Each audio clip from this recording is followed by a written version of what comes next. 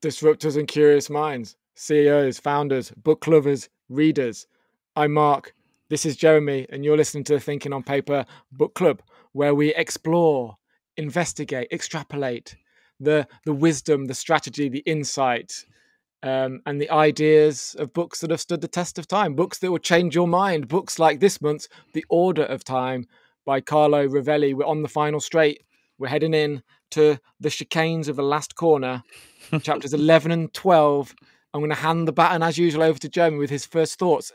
And we're back with our old friend Entropy. Once again, Jeremy. My goodness. Well, uh, yeah, just a reminder reading is now a team sport. Buckle your seatbelts. As Mark mentioned, we are headed for the home stretch uh, on this on this wonderful book. Yeah, chapter 11, what emerges from a pe- peculiarity, right? So this one to me again is a is a is a discussion of of entropy, but also entropy and heat. And you know, it's entropy, not energy, that drives the world. And I wanted to spend some time on that paradigm a little bit because we um we part of this whole book is like understanding that we have a false sense of what time actually is. So let's break down that false sense of what it is and then build it up through, you know, the understanding of physics that smarter people than us have that we, can kind of get to. But you know, the idea of like, man, we always need energy. We need energy to do things, energy to kind of um, you know, make stuff happen personally, but also like how things grow in the ground, how we eat the things that grow in the ground. But the world needs low entropy, not energy. So I started thinking about a couple of things, right? I started thinking about like low entropy when when entropy is low things are less chaotic. They're more formed. They're more kind of concrete, for lack of a better term. This is definitely not a scientific interpretation of entropy, but my own personal, right? Right. Mm-hmm. So, so like this, this spun to like this, this idea is spinning back to the nexus, right? And we talked about uh, divergence and convergence, right? And when you're thinking big on a, a big idea, you know, divergent thinking explores things kind of without expectation, these serendipitous, you know, kind of chaotic connections. But then you eventually, when you focus on something, there's a convergence to like, all right, we're going to do this one thing. And I started thinking about like how low entropy is like this convergence from like thinking big into honing into something concrete. So, pointing back again, in the past, entropy is low, meaning things are kind of locked in as this thing happened, right? You know, right. It, and so that so that's I, I I know I'm like I know I'm like kind of actively processing as we're always talking about, but speaking of processing, life is a network of processes for increasing entropy, right? So in the past, there are these discrete bundles of things that have happened, right? Entropy is low when things are kind of organized, right? But as we move to the future, as we move from something that happened to something that potentially will happen, that's where the disorganization comes in, right? That's where things are more chaotic. That's where more options and more probabilities are set to happen because the future isn't set, the past is set. So, anyway, a long story short, entropy is back. I'm still utterly confused and um, working my way through understanding the difference between energy and entropy. I need uh, empathy. I need empathy for all those things to happen. Energy, entropy, and empathy are all entangled in one big man. My favorite question in this, on the, as he tries to explain entropy and energy, was the question: What causes stars to ignite? And I, I, I read that, and I, I never really pictured a star igniting um, I never really pictured a star being born. I mean, and so he explains it via entropy, and it's probably better if I read this rather than. Yeah, yeah, yeah. I remember reading that too. what causes stars to ignite? Another process that increases entropy. The contraction due to gravi- gravity of one of the large clouds of hydrogen that sail throughout the galaxy. A contracted cloud of hydrogen has higher entropy than a dispersed one. But the clouds of hydrogen are so vast that they take millions of years to contract. Only after they have become concentrated do they manage to heat up to the point that triggers the process of nuclear fission. The ignition of nuclear fusion opens the door that allows a further increase in entropy, hydrogen burning into helium. So it's this kind of state. Then you can you can picture it. You can picture intergalactic space, huge meandering clouds of hydrogen that over millions of years come together, come together, come together, compress down, compress down, heat up, heat up, boom, stars are born. And he uses another analogy with a log of wood that you have this log of wood. So the log of wood is intergalactic space in the past. This big hydrogen cloud is no very slow. There's no movement. It's solid. The log is very solid. And just as the hydrogen cloud needs something to ignite it to to to go from low to high entropy, so a log needs a spark to move from this solid state into flames and burn, and then the entropy speeds up and th- th- those were quite visual to me, and they they really helped me kind of again get my head around this idea of low entropy to high entropy. Yeah, and the eh, the entropy thing was really interesting as he as he talked about the sun as a rich source of low entropy, and I was like, yeah, I was that like, was weird what? at the first time. That right, was I was like, that makes zero sense to me, yeah. right? And and then but then he starts talking about, all right, so if we look at what the sun does, it sends hot photons to Earth, right? And the hot photon, one single hot photon comes to Earth. And for every one hot photon that comes from the sun to Earth, 10 cold photons are emitted back, right? So there's yeah. this there's this ratio of kind of a 10 to 1 and entropy is lower for the hot photons because the number of configurations for one hot photon is less than 10 cold photons. So normally this is where the energy entropy thing, I, I think of it, I'm thinking energy when I should be thinking entropy from a sun perspective. Because you go out and you stand in the sun, you, you feel the energy, you feel the heat, right? Sun is massive amount of energy. Yes, but it also is a low entropy configuration as it relates to photons coming to the earth and we sending them back. Yeah.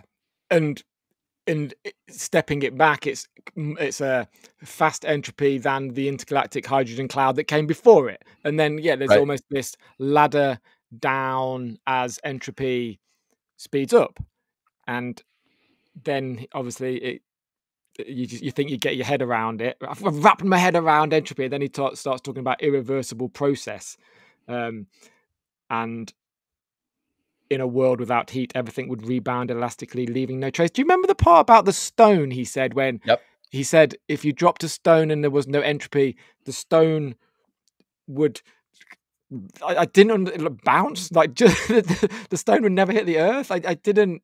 Did you did you understand that? Well, so it, this this boils down and this this kind of sends us into chapter 12 a little bit, I think, but he talks about traces, right? And traces of the past exist when entropy is low, right? And to leave a trace, something must be stopped, something must be arrested, stop moving, right? And when something stops moving, that force of movement turns that energy into heat, right? So when energy turns into heat, that's kind of like when things are locked in as something that happened, right? As something, you know, entropy finally settles out, the stone is on the ground, right? It's a moment you look at the stone on the ground, there's a piece of time, I guess, right? Um, that's how I that's how I kind of got into that a little bit. Okay, like that traces kind of makes sense. Um, so okay, that's a good segue into into chapter twelve, which is um, the secret of the Madeleine, Proust's Madeleine, uh, an incredibly famous story here in Europe. I assume is it an incredibly famous story in America too? No. Okay, so do you know? It? So Marcel Proust wrote this very famous book, essentially about when he was older, I don't know how what age he bit into a mad. Do you know what a madeleine is? No, uh-uh. it's like this little French cake. It's about this big, okay, spon- a spongy cake, and kids love it. And basically, French kids they just eat these things like, by, by, the dozen all the time. And the story is that that Proust he wrote when he was at some age, he ate a madeleine, and all the memories of his childhood just like bam, because the taste of the madeleine just reminded him of everything that had happened when he was eating these madeleines all through his childhood and then he wrote a book with that i know like a thousand pages of like all these memories um which is why this chapter and this chapter is about memory and this is what i was saying last week and this is my favorite chapter because i'm sure i said it last week we can separate ourselves from the cosmos, and in fact, time is just a construct of of our consciousness. This is our memory. Uh, this is this. I like this chapter. I actually really liked it too, and you know the so it's a, a the theme that rung true through chapter twelve was it's not about pieces and things it's about collections and relationships between those collections and events right um and the three things that stood out are point of view organization and memory we'll get to memory right. yeah, after but you know time point of view is like time is relative to me yeah. uh, sitting here and time is relative to you sitting where you're sitting right so that's simplified that's point of view the organization of things is man we we want to separate and organize the things that we see and experience, right? To generate our reality. To I, I wrote the word order to create order. Uh, yeah, so we can understand things. Yeah. Yep. And and so a couple of quotes stood out. The we approximate the world by breaking it down into pieces, and then I also highlighted seeking to predict right? So we take we have all these pieces that we organize, but we're always like trying to use what we have as knowledge today, as experience today to kind of predict tomorrow. And this like that we're seeking to predict all the time is really interesting to me. Uh, there was some some beautiful again his physics has found his poet it says on the front cover and i think in, this chapter there was some some lovely poetry and i'll read some more of the poetry at the end but um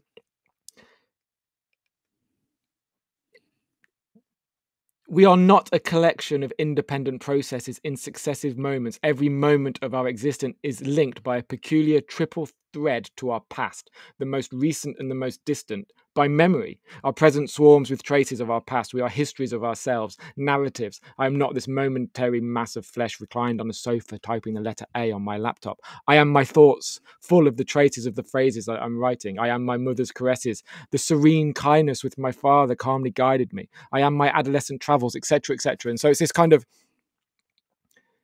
piecing together of our memories that creates this almost personal relationship with time creates time in our in our personal relative experience kind of mm. yeah yeah it's it's it's that but it's also our perspective like it, it, creates our lens of the world right that yeah. how we how we experience other things is based on the things that we've already seen and what hit me is really interesting too so we we we talked about point of view we talked about um organization. Now let's kind of dive deeper into memory, right? So what we perceive is not the present. I highlighted that too, and I immediately thought of a, um, another book that I read um, about time by Daniel Eagleman. He's a neuroscientist, and he right. was the guy. I think I brought this up a bunch that basically our reality is on an 80 millisecond delay and there's a little piece in our brain that acts as kind of grand central station ordering these moments and then stitching together the missing gaps based on oh that looks like a little bit of this and it kind of builds our reality. And you know augustine you know he references augustine in this you know that, that time is a subjective phenomenon within all of us right? And, and point of view makes it unique to us right? You know my point of view on it makes it unique to us which is also linked to my experience and my memories and how i process is going to be different than how you process right? Um I just got sidetracked by um, Augustine's from the the same Augustine from the Bob Dylan track. No, oh, nice pull. Yeah, Augustine. again, your version of reality driving your train in one direction. I love it. We should look at the lyrics of that song. That would be interesting if he was actually talking about time in any way. I'm going to have a look at that later. Oh, good call. Because um, maybe you know. Hey, I got I got something for you while we're doing it. So, so let's talk about duration. Okay. Duration is like you know it's a there moments have to have duration, right? But how can we measure how can eh, how can we measure two moments at the same time when we're sitting in one moment? So what do you mean? Sorry, how do you measure two moments when you're sitting in one moment? So he talks about duration, right? And duration requires the measurement of two moments, but we're always only in one moment. How do you measure two moments? Memory and anticipation. Oh, nice segue. I like it. Just like... it's, again, it's just uh, our our relation to, uh, uh, to give everything to give something meaning we need to do that link the dots yeah so memory Disru- and- disruptors and curious minds we didn't plan that either that was that was rather serendipitous we promise. We're definitely not that scripted i promise yeah. Um i think they know that. They... so all right so consciousness is based on memory and anticipation like you just said right? Memory and anticipation this whole musical reference to me was really fascinating as it as it relates to memory as it relates to time. And does time unfold like music unfolds? When you listen to music music is something that unfolds in time right? Right. And you know i started thinking about like is time like humanity's organized music? And you think about how music locks in moments right? So if i if i play let's relate musical notes in succession to memories. All right. Okay. So if I were to play four notes in succession, you know, I play, you know, the first note, okay, and I play the second note, you remember the first note, right? But you yeah. hear the second note. Yeah. And then I play the third note, you remember the second note. The first note starts to fade away a little bit, right? It might even go away. You don't remember it. The fourth note, and so on and so forth. That's a really interesting analogy to memory, isn't it? That's beautiful. Yeah and I can again I can hear it, I can see it, I can yeah, they, yeah, it's it's that it, that's what he alludes to really. I, I I knew that you'd have a professional take on the music, Jeremy. Um, what does that mean for? Does that remove the link with energy and entropy that we spoke about? like, is that does that idea remove the entropy and en- energy and put the responsibility again on us, on our brain, on our interpretation of things, on our insatiable desire for meaning in this weird, complex, ridiculous universe? I think that the entropy thing is always in play. I think it's that like underlying, it's that underlying kind of kick, kick drum that you just kind of keep hearing. It's the kick and the, then the decay of the kick, right? Oh, I like that. Yeah. So you have you have like the past is ordered entropy, right? So that's when the the the attack of the kick hits, right? But then new thing as you move from past into future, we move from very succinct on the dot hits to um to potentials and this is where like quantum mechanics comes back in. It's like everything's a probability and like the decay of that kick drum, what's going to happen next? All right. So point back when you when I listen to music, I can only listen to certain types of music when I'm reading or when I'm concentrating on stuff. And I've actually landed on this is the this is a little hard right, but it'll make sense I think in a second. I listen to a lot of classical Hindustani music. And the reason why I do it is I can't predict where the song is going next. And this goes to anticipation, right? Right. Okay. So if I'm listening to a pop song or like something that I know, or even Western music, it's very formulaic. So if you hear like, if you hear like a minor two, you're expecting, you know, some other resolve to happen. Or if you hear the four, you're going to expect to hear the five, right? It's just like these patterns. And I end up focusing on the music and not on what I'm supposed to be listening to. So let's spin this back around that like that that's interesting actually. That's a bit like when they when you, you can't not listen to something and and so if you're if you're if you have music on where you're uh-oh. Time has stood still. Hopefully mark will be back. He is uh in quantum superposition right now and uh we're going to continue to talk about we're going to continue to talk about this idea of finite moments turning into probabilities. So brains are connections, right? They're connections between memory and foresight, right? And he talks about this connection being kind of our source of identity, our uh, individualism. And Mark is now back. There he is. I kept going, man. I kept going. I moved on to brains, memory, and foresight, and our source of identity. But do we want to circle back? I, I, you sound like you had a really good thought there. No, I, am sure that that thought, a bit like the musical notes, has has vanished into the past. Now only a memory for me, fleeting. But that was that was entropy. That was my internet connection entropy in entropy. I think. Yeah, it, it locked into a moment of you not being here, uh, and now we're moving on the probability of hopefully that not happening again. So we'll see. Um, I was just gonna, since you carried on, um, I was gonna just finish with the music of Strauss Mm. and the words of Hofmannsthal. Um, I remember a little girl, but how can that be? Once I was that little Resi. And then one day I became an old woman. If God wills it, so why allow me to see it? Why doesn't He hide it from me? Everything is a mystery, such a deep mystery. I feel the fragility of things in time from the bottom of my heart. I feel we should cling to nothing. Everything slips through our fingers. All that we seek to hold on to dissolves. Everything vanishes like mists and dreams. Time is a strange thing. When we don't need it, it is nothing. Then suddenly there is nothing else. It is everywhere around us, also within us. It seeps into our faces. It seeps into the mirror, runs through my temples. Between you and I, it runs silently like an hourglass. Sometimes I feel it flowing inexplicably. Sometimes I get up in the middle of the night and stop all the clocks. That's yeah, I remember reading that too. That that's pretty amazing, man. That's pretty amazing. Yeah, and I think that I think we'll talk about we'll wrap it up next week.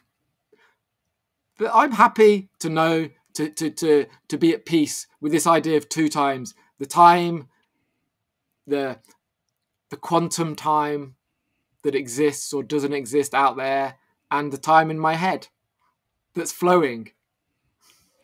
Yeah, there uh, well there's an organizational time, right? There's an organiza- a coordinated time. And I think I think it's called I mean UTC Universal Coordinated Time. I think it's it's uh that's the acronym in English. I think it's something else in whatever other language that is, but to coordinate moments between humanity, right? For the for the object of doing coordinated things like business, like meetings, like all of that stuff. And then there's this other time that is kind of this internal sense of ordering our traces, the traces that that we create based on these entropy or based on these moments of low entropy. Moments of low entropy.